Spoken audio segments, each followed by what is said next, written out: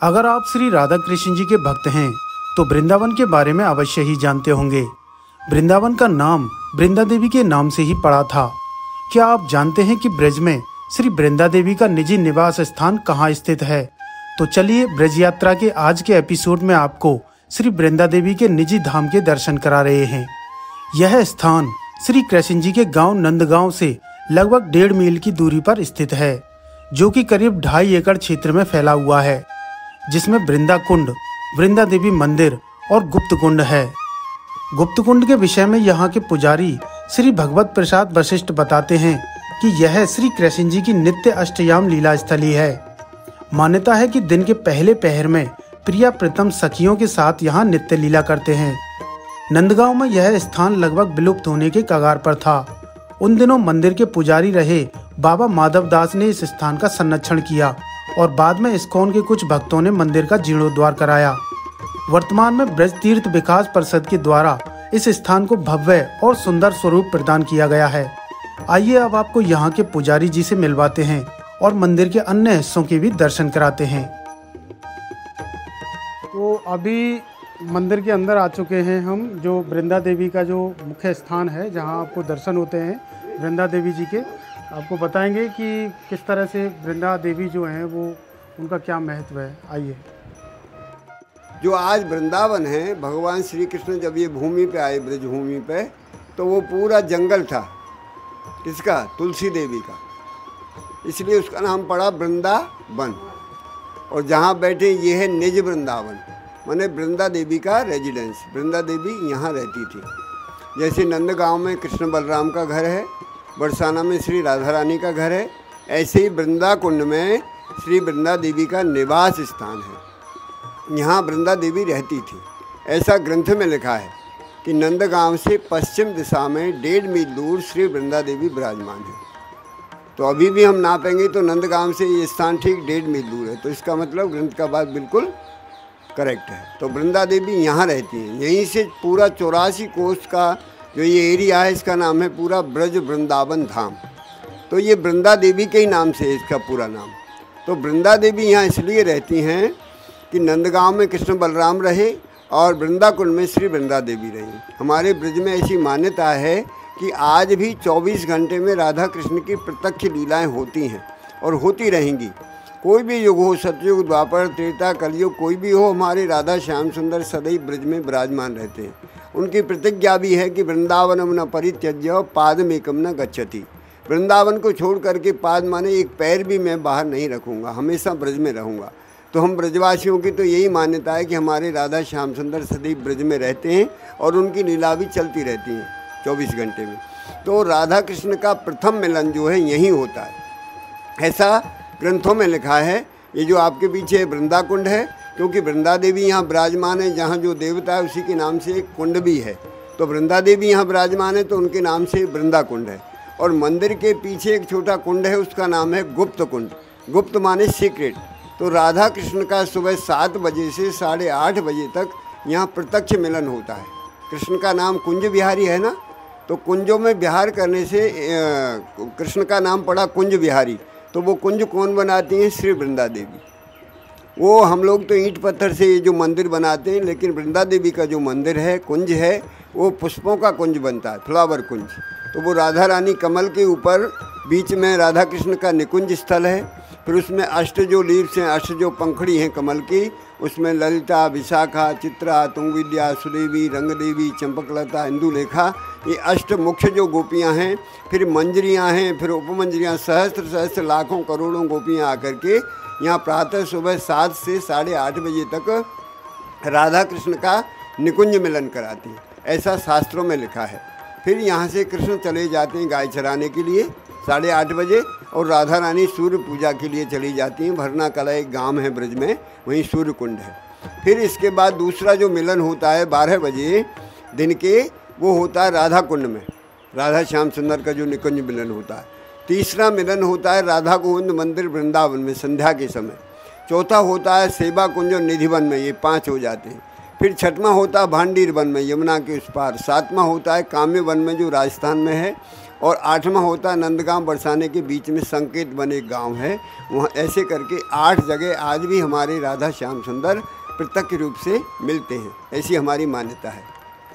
तो ये जो कुंड है ये प्राचीन काल से अभी किसी ने खरीद के नहीं बनाया है ना इसको कोई बेच सकता है ना खरीद सकता है। ये आदि काल से चले आ रहे हैं, ये वृंदा देवी का निज निवास स्थान है।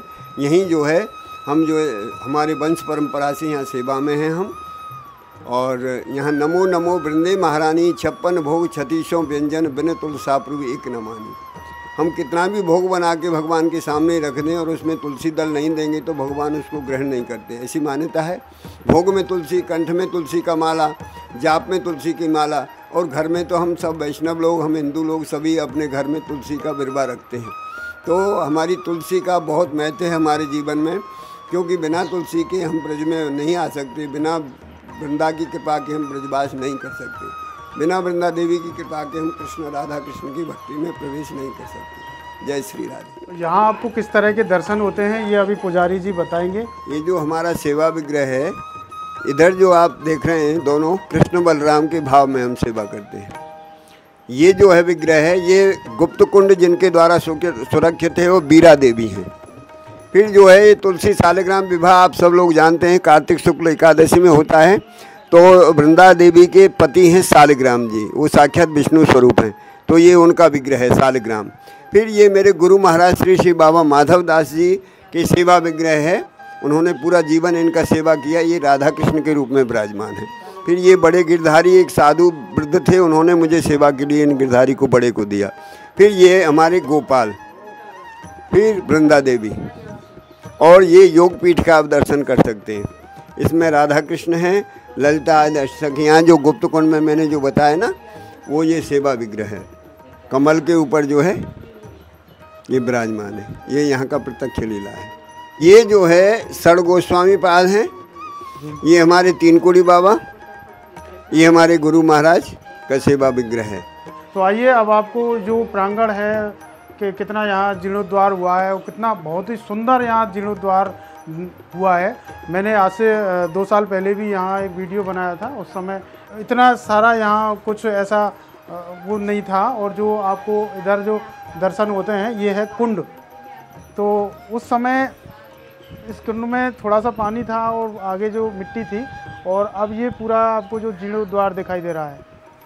ये जो मंदिर बनाया है, ये जो आप मंदिर देख रहे हैं, ये तो मैंने भक्तों के द्वारा कलेक्शन करके इस मंदिर को निर्माण किया। सबसे पहले यही मंदिर बना जी जी हाँ यही मंदिर बना है। इधर ये जो तीन रूम्स हैं एक श्रृंगार घर है एक छोटी किचन है हमारे ठाकुर जी का जो रसोई बनता है एक पुजारी रूम है। तीन जो रूम हमने अब स्पेशल भक्तों के द्वारा ही बनवाए। पहले से ही आपने पहले से ही बनवाए हाँ। जी जी जी, जी। आइए और दिखाते हैं आपको। जी आइए। रसोई घर है। और ये हमारा कार्यालय है वृंदा देवी का। पुजारी लोग। ऐसे पूरा परिक्रमा लगाते हैं। अच्छा ये पूरा परिक्रमा हाँ। का वो है जी। दोनों कुंडों का परिक्रमा है। प्रभु जी काफ़ी सुंदर हो गया अब ये स्थान बहुत सुंदर हो गया बहुत सुंदर अति सुंदर। ये हमारा बड़ा रसोई घर है जैसे भंडारा इत्यादि होते हैं तो हम पूरा स्टॉक रखते हैं इधर। घी बर्तन सब कुछ इधर है। ये सब वृंदा जी का पोशाक है। ये जो है हमारा अतिथि ग्रह है इसमें कोई भी आके विश्राम कर सकते हैं कथा कर सकते हैं प्रसाद भी ले सकते हैं। ये, ये मेरे गुरु महाराज श्री श्री बाबा माधव दास जी। माधव दास जी। जी। ये मेरे गुरु महाराज का समाधि मंदिर है। मैं और मेरे गुरु महाराज यहाँ रहे। उन्होंने मुझे सेवा दिया। उनतालीस साल से मैं सेवारत हूँ इधर। अभी जानबा नवमी जो गई है ना चार दिन पहले। उस दिन पूरा उनतालीस साल थर्टी नाइन ईयर से मैं इधर सेवारत हूँ। ये हमारी भजन कुटीर है। कोई भी साधु संत कोई भक्त आकर के इधर भजन कर सकते हैं। ये भजन कुटी है बिल्कुल कच्ची जैसे प्राकृतिक तरीके से। हाँ, ये रज से बना कुंडो को ही रज से बनवाया गया अच्छा। जो डिग्री कॉलेज की लड़कियाँ आई और अपने हाथ से उन्होंने हमने लकड़ी का फ्रेम बनवाया अपने हाथ से ईंटों का निर्माण किया उन्होंने। ये सब मिट्टी की ईंट हाँ। ये गुप्त कुंड है जो मैंने अभी बताया ना। जो प्रातः सुबह सात से साढ़े आठ तक यहाँ लीला होता है। अच्छा। गुप्त कुंड में कमल के ऊपर। लेकिन वो अदृश्य है हम देख नहीं सकते क्योंकि हमारे पास उतना पावर नहीं है ना। हम तो काम क्रोध लोभ मोह हर जीव के अंदर है। जो कुंड है उसके चारों तरफ़ इस तरह के चित्रण आपको नज़र आ जाएँगे। बहुत ही खूबसूरत तरीके से जो इनको बनाया गया है। बहुत ही खूबसूरत तरीके से अब इसको स्वरूप दे दिया गया है। जो है हमारे दो मंजिला जो है वो भजन कुटीर है मेरे गुरुजी का भजन अच्छा अच्छा कुटीर। अच्छा अच्छा। उधर भी एक हाँ, भजन वहाँ भी है। कोई भी आके हम्म, हम्म, भजन कर भजन सकता है। सकता है। मतलब कोई भी आके यहाँ भजन हाँ, हाँ, कर सकता है। लेकिन रात में इधर रुकने का नहीं है ये निकुंज स्थल ही है ना। अच्छा अच्छा। दिन में कोई भी सुबह से शाम तक रहे भजन करे अच्छा अच्छा। आराम से कोई मतलब रात में क्या यहाँ कोई नहीं रहता है? रात में गार्ड रहते हैं हम्म। बाकी कोई वैसे नहीं हम अलाउ करते क्यों नि, निशांत निकुंज है ना ये? और और वो गार्ड भी अंदर नहीं घूमते होंगे हाँ। एक ही जगह रहते होंगे? लीला स्थली है वो आराम से रूम में रहते इस चैनल के माध्यम से आपको संपूर्ण ब्रजधाम की यात्रा करा रहे हैं। आपको बता दें कि हम जल्द ही श्री राम और रामायण से जुड़े प्राचीन स्थानों की यात्रा शुरू करने वाले हैं और सभी स्थानों की विस्तृत जानकारी आपको दिखाने वाले हैं, जिन्हें शायद आप नहीं जानते। अगर आप भी हमारे साथ यात्रा से जुड़ा रहना चाहते हैं तो अभी चैनल को सब्सक्राइब करके घंटी वाला बटन दबा लीजिए, जिससे आने वाले वीडियो आप तक पहुँच सकें। तो मिलते हैं अगले एपिसोड में। जय श्री राधे कृष्णा